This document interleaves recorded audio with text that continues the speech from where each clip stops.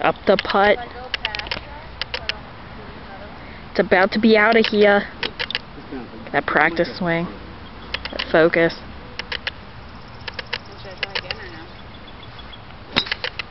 Beautiful.